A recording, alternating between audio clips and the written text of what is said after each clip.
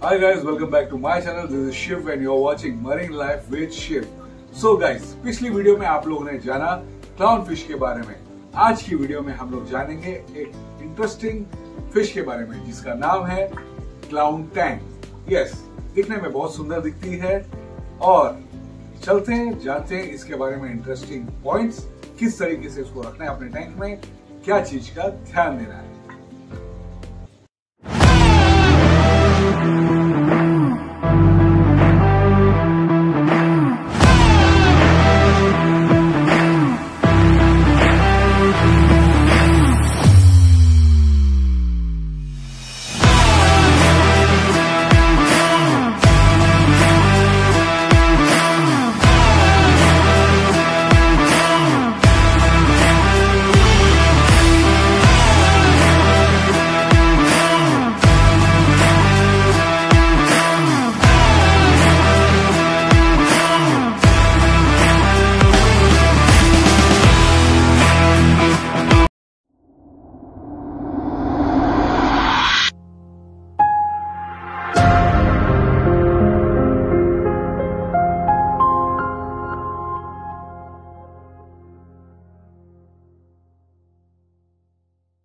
Hobbyist हो marine tank रखते हो तो आप सही चैनल पे हो, क्योंकि यहाँ पे आपको सब इंफॉर्मेशन डिटेल में मिलती है विथ प्रैक्टिकल यस कुछ लोग वीडियोस बनाते हैं जो कि पढ़ते हैं और वीडियो बना देते हैं बट यहाँ पे आप सब कुछ प्रैक्टिकली देख कर सीखते हो गाइस क्योंकि एक थ्योरी अलग चीज़ होती है जो कि हम पढ़ के करते हैं, और एक प्रैक्टिकल लाइफ जो कि हम खुद करते हैं और सीखते हैं.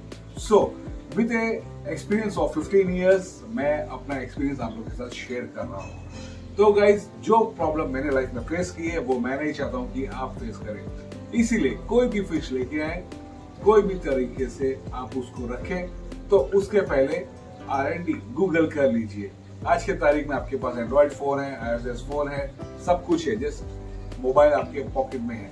आपको कुछ भी सर्च करना है तो आप सर्च कर सकते हैं, सीख सकते हैं। तो कोई भी फ़िश घर पे लेके आए तो उसको पहले सही से रखिए, उसका ध्यान दीजिए, उसके बारे में स्टडी कीजिए।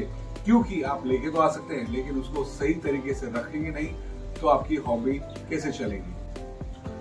वीडियो स्टार्ट करने के पहले गाइस मैं आपसे एक रिक्वेस्ट करूँगा कि अगर जो आपको इंटरेस्टिंग टॉपिक चाहिए और आपको अच्छी नॉलेज चाहिए सही तरीके से तो चैनल को जो ये बटन दिख रहा है सब्सक्राइब का वो दबा दीजिएगा। वहाँ पे आपको कोई चार्जेस नहीं लगेंगे। सब्सक्राइब करने से आपको जब भी हमारी नई वीडियो आएगी तो आपको सबसे पहले मिलेगी। तो इसीलिए चैनल को सब्सक्राइब कर लीजिएगा so that you don't miss next information तो गाइस चलते हैं और जानते हैं आज के टॉपिक के बारे में, जो कि है clown tank fish clown tank जब भी आप लेने जाएँ तो ये चीज़ का ध्यान रखिए। कि उसके ऊपर व्हाइट स्पॉट ना हो फंगस ना लगा हो, उसके फिन्स कहीं से फटे ना हो, और वो हेल्थी कंडीशन में हो। फीडिंग के लिए ध्यान दीजिएगा स्पेशली क्योंकि क्लाउन टैंक जल्दी फ़ीड नहीं करती है। उसको क्वारंटाइन सेंटर में क्वारंटाइन कीजिए, जिस तरह से हमने ये हमारा क्वारंटाइन सेंटर बनाया हुआ है, जहाँ पे हम एक, हर एक फ़िश को क्वारंटाइन करते हैं। जैसे कि हमने ये क्लाउन टैंक को भी क्वारंटाइन किया, इस तरीके से। यहाँ पे हमने सेपरेट इसको रखा क्वारंटाइन किया, उसके बाद हमने हमारे टैंक में इंट्रोड्यूस किया। तो क्वारंटाइन करने के बाद ही आप अपने टैंक में उसको इंट्रोड्यूस कीजिएगा। सबसे पहले, जब आप अपने टैंक में उसको इंट्रोड्यूस करते हैं तो एक्लीमेट करना बहुत ज़रूरी है। एक्लीमेट कैसे किया जाता है? एक्लीमेट जो है गाइस आप जिस तरीके से देख रहे हैं, पहले पैकेट को जिसमें आप क्लाउन टैंक लेके आए हैं, वो पैकेट का पानी और आपके मेन डिस्प्ले टैंक का पानी का टेम्परेचर दोनों एक समान हो जाए उसलिए आप अपने टैंक में इस तरह से 45 मिनट्स के लिए छोड़ दीजिए। 45 मिनट्स के बाद आपकी पैकेट को आप निकाल लीजिए। सो दैट आपका जो पानी का टेम्परेचर है, दोनों एक दूसरे के साथ सही से मैच हो जाए। आपके पैकेट और मेन डिस्प्ले टैंक का टेम्परेचर जब आपस में सही से हो जाए तो एक बकेट या टब में आप अपनी फ़िश को आराम से निकाल लीजिएगा। इस तरीके से। आप ज़्यादा हाइट से उसको नीचे मत छोड़िएगा। जितना क्लोज आप उसको ड्रॉप कर सकते हैं, आराम से उसको नीचे छोड़िएगा।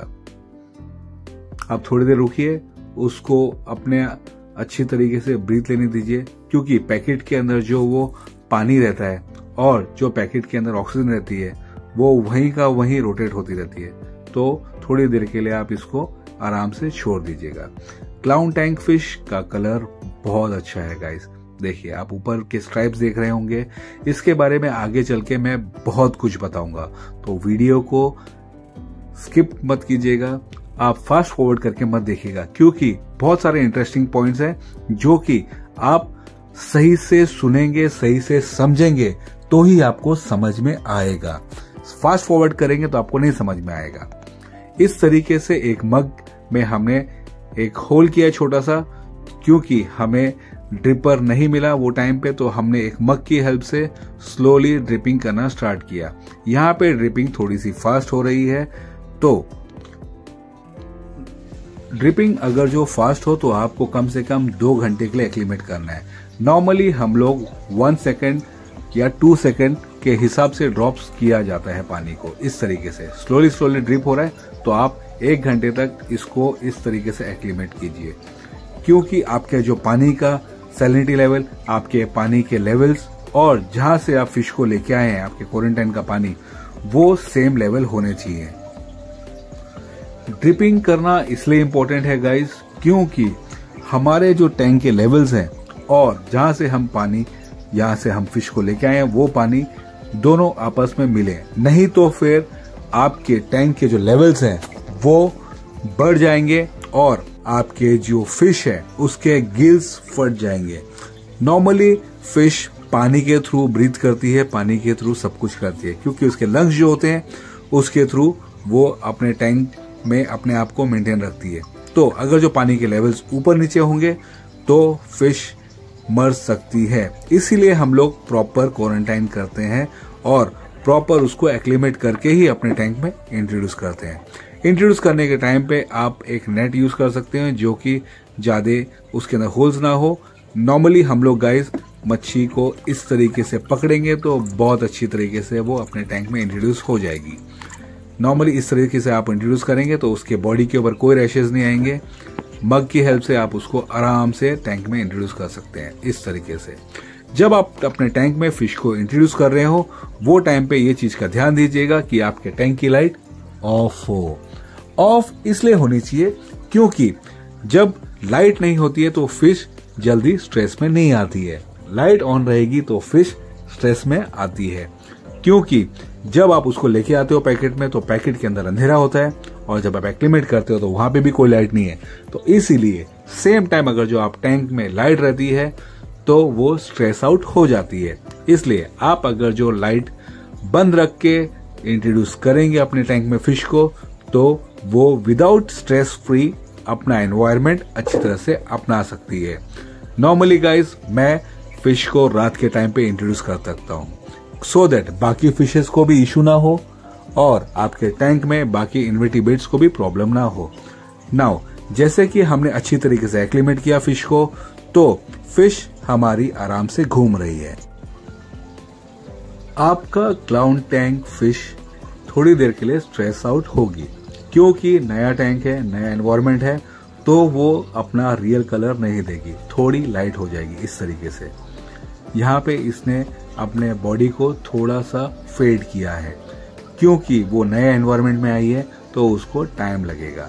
सो नो वरीज गाइस अगले मॉर्निंग तक आपकी जो क्लाउन टैंक फ़िश है, वो अच्छी तरीके से सेट हो जाएगी।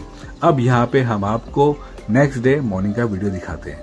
नेक्स्ट डे मॉर्निंग जैसी लाइट ऑन हुई फ़िश की मूवमेंट बहुत अच्छी थी। अच्छी तरीके से वो एक्वास्केप में घूम रही है, अपना एक टेरिटी बना रही है, अपनी जगह ढूंढ रही है कि मैं कहाँ रहूँगी।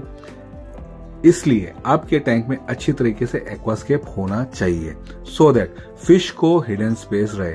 मरीन टैंक में हर एक फ़िश एग्रेसिव होती है। तो आप जितना एक्वास्केप करेंगे, उतना आपके टैंक के लिए और आपकी फिशेस के लिए सही है। इस तरीके से आप एक्वास्केप कीजिएगा सो दैट आपकी क्लाउन टैंक फ़िश को हिडन स्पेस मिले। नाउ हमने 12 बजे के बाद हमारे फुल टैंक लाइट ऑन की। हमारे टैंक की लाइट फुल ऑन की, उसके बाद हमारी क्लाउन टैंक फ़िश अच्छी तरह से घूम रही है। नाउ जैसे कि रात के टाइम पे आपने देखा कि फ़िश का कलर थोड़ा फेड था, ये नेक्स्ट डे जब हमने आफ्टरनून में व्हाइट लाइट में इसको देखा तो इसका कलर नॉर्मली अच्छी तरीके से क्लियर था। ये देखिए वॉट ए ब्राइट कलर कितना अच्छा दिख रहा है राइट जब हम लेके आए थे वो टाइम और अभी, देखिए, दोनों में कितना फ़र्क है, क्योंकि उसने एनवायरमेंट को अपना लिया है अच्छी तरीके से तो ये अच्छी तरीके से यहाँ पे रह सकती है। आप ये चीज़ का ध्यान दीजिएगा कि जहाँ पे भी आप रॉक एक्वास्केप करें तो वहाँ से ये पास अच्छी तरीके से हो सके, इसीलिए स्पेस दीजिएगा। अब, जब हमने इसको इंट्रोड्यूस कर दिया है फ़र्स्ट डे तो ये चीज़ का ध्यान देना है कि फ़र्स्ट डे आपको 24 फोर आवर्स के लिए इसको खाना नहीं देना है। यानी कि आप ये चीज़ का ध्यान दीजिए कि मॉर्निंग में अगर जो आप खाना देने वाले हो तो उस दिन टैंक में खाना मत दीजिए। कोई इश्यू नहीं है गाइस कोई प्रॉब्लम नहीं है। आपकी फिशेस आपस में नहीं लड़ेगी। आप इवनिंग में थोड़ा खिला दीजिएगा। नेक्स्ट डे मॉर्निंग में खिलाइए। सबसे बेस्ट है। 24 फोर आवर्स के लिए फ़िश को खाना मत दीजिएगा। क्योंकि जब भी आप ट्रेवलिंग में फ़िश को लेके आते हैं तो उसका पेट वाइप होता है, यानी कि उसका पेट साफ़ हो जाता है। और पेट साफ़ होने के बाद आपकी फ़िश की बीमारियाँ ठीक हो जाती है। सो आफ्टर 24 फोर आवर्स आप उसको खाना दे सकते हैं। अब, खाने में आपको इसको क्या देना है? खाने में आप इसको फ्लैक्स सी वीड्स माइसिम्स दे सकते हैं। मैंने यहाँ पे फ्लैक्स भी दिया है, और स्टार्टिंग में यहाँ इसने फ्लैक्स को नहीं खाया तो हमने यहाँ पे सी वीड्स दिए हैं। सी वीड्स आपके रिफ्यूजियम में होते हैं। रिफ्यूजियम के ऊपर ऑलरेडी मैंने वीडियोस बनाई है। रिफ्यूजियम आपको कैसे बनाना है, क्या करना है, किस तरीके से करना है, वो आप जाके डिस्क्रिप्शन में देख सकते हैं और उस हिसाब से आप अपना रिफ्यूजियम सेटअप कर सकते हैं। तो नाउ अब यहाँ पे प्रैक्टिकल में आपको इसको खाना खिला के दिखाऊँगा। किस तरीके से ये सीविज को खाती है। क्योंकि ये फ्लेक्स नहीं खा रही है तो हमने यहाँ पे इसको सीविज दिया है। सीविज अलग तरीके से भी आते हैं।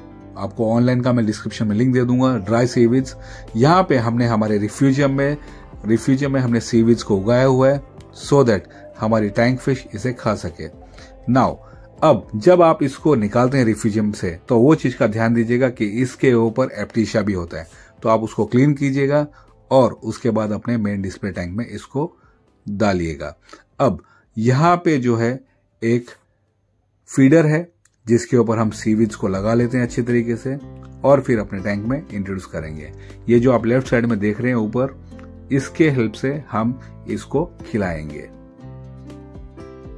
तो चलिए, थोड़ा सा सीविज इसको खिला के देखते हैं। इस तरीके से जब आप सीविज को साफ़ कर लेते हैं तो आपके होल्डर की हेल्प से इसको लगा सकते हैं इस तरीके से। आप होल्डर में सीविज को अच्छी तरीके से लगा लीजिए। उसके क्लिप के ऊपर उसको अच्छी तरीके से क्लैम्प कर दीजिए। क्लिप करने के बाद आप सीविड को इस तरीके से अंदर छोड़ दीजिएगा। ये देखिए, इस तरह से पकड़ लेगा क्लैम्प और उसके बाद अच्छी तरीके से मैग्नेटिक होल्डर रहता है तो वो अंदर बाहर इस तरीके से आप उसको लगा के छोड़ दीजिए। अब ये फ़र्स्ट डे है आफ्टर 24 फोर आवर्स कि हमने सीविज इंट्रोड्यूस किया है टैंक के अंदर। थोड़ी देर वेट करते हैं। टैंक फ़िश सबसे अच्छी तरीके से सीविज को खाती है। वो इसका बहुत पसंदीदा फ़ूड रहता है, जो कि एलगे भी है। ये एलगी को भी अच्छी तरह खाती है। और आपके टैंक में एलगी ग्रोथ होने से रोकती है। ये देखिए। स्पेसिफिक सेल्फिन टैंक जैसे कि हमने सीविड्स को डाला, सबसे पहले उसने आने आके खाना स्टार्ट कर दिया। नाउ उसको देखा देखी में यहाँ पे ये देखिए। हमारे क्लाउन टैंक ने भी खाना स्टार्ट कर दिया इस तरीके से। तो अगर जो आप की फ़िश खाना नहीं खा रही है पैलेट्स नहीं खा रही है फ्लैक्स नहीं खा रही है तो आप सीविड्स उसको खिलाइए। क्योंकि नॉर्मली क्लाउन टैंक का यही प्रॉब्लम है कि क्लाउन टैंक जो है सीविड्स खाती है, आप उसको फीडिंग पैलेट करते हैं, आप उसको हमेशा ट्राई करते हैं फ्लैक्स खिलाने की वो नहीं खाती है, और वो डाइट के कारण मर जाती है। तो आप सीविड दीजिए, वो अच्छी तरीके से उसको खाएगी। धीरे धीरे धीरे धीरे वो पैलेट के ऊपर भी आ जाएगी खाने के लिए। धीरे धीरे वो फ्लैक्स भी खाएगी। लेकिन स्टार्टिंग में आप उसको सीविड्स दीजिएगा। ये देखिए 24 फोर आवर्स के बाद हमने सीविड्स डाला तो उसने खाना स्टार्ट किया। और इस तरीके से आप अपने सीविड्स को छोड़ दीजिएगा। आप सीविड्स रखेंगे टैंक के अंदर ट्वाइस ए डे आप ट्वाइस ए डे दीजिए। आपकी फ़िश सही से रहेगी, अच्छी तरीके से खाएगी और अच्छी तरीके से अपनी हेल्थ ग्रोथ करेगी।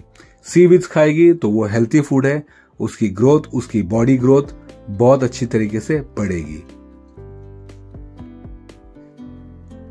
एक और चीज़ मैं आपको यहाँ बताना चाहूँगा, जैसे कि आप ये डॉक्टर रास देख रहे हैं, ये डॉक्टर रास आपके कोई भी टैंक वैरायटी टैंक हो तो उसमें आप डॉक्टर रास को इंट्रोड्यूस कीजिएगा। सो so दैट कभी भी उसके ऊपर व्हाइट व्हाइट स्पॉट आए तो वो उसको क्लीन कर देती है। इस तरीके से डॉक्टर रास आप अपने टैंक में इंट्रोड्यूस कीजिएगा। सो so दैट कभी भी फ़िश नहीं लेके आते हो तो वो थोड़ी बहुत स्ट्रेस में होती है। आप दवाइयाँ ना यूज़ कीजिए। जितनी दवाइयाँ आप अवॉइड करेंगे, उतना आपका टैंक हेल्थी रहेगा।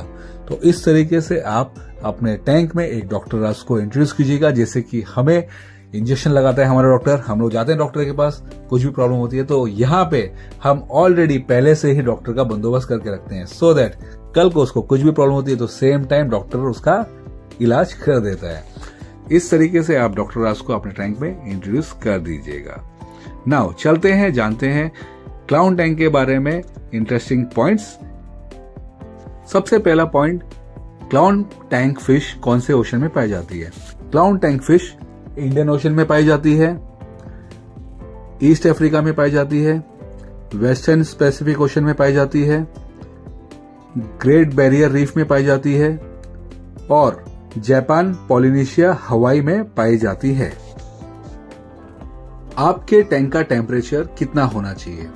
जब आप क्लाउन टैंक को अपने टैंक में रखते हैं तो नॉर्मली सब फ़िश के लिए जिस तरह से टेम्परेचर होना चाहिए, जो कि है 26 डिग्री सेल्सियस से लेकर 28 डिग्री सेल्सियस उसी तरीके से आपके टैंक का भी टेम्परेचर 26 डिग्री से 28 डिग्री सेल्सियस या मैक्सिमम 30 डिग्री सेल्सियस तक होना चाहिए।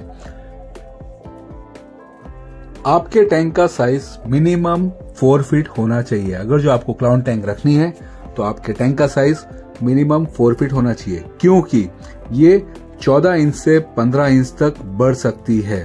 तो आप अच्छा साइज़ का टैंक दीजिए, कम से कम फोर फीट दीजिएगा। सिक्स फीट, सेवन फीट रहेगा तो इसके लिए बहुत अच्छा है।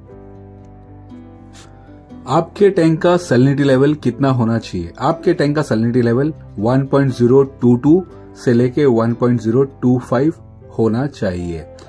आपके टैंक में क्लाउन फ़िश रखने के पहले, अगर जो आप ये सोच रहे हैं कि clown tank fish reef safe है yes clown tank fish reef safe है। आप इसको रीफ टैंक में भी रख सकते हैं।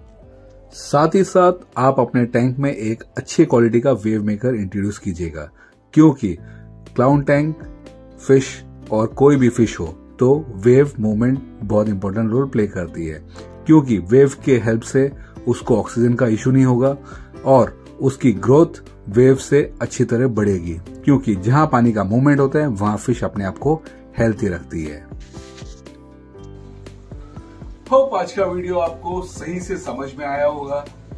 नहीं समझ में आया तो वापस जाइए और वापस प्ले कीजिए। अगर जो आप चैनल पे नए हैं तो सब्सक्राइब कर दीजिएगा। वीडियो अच्छा लगे तो लाइक एंड शेयर ज़रूर कीजिएगा।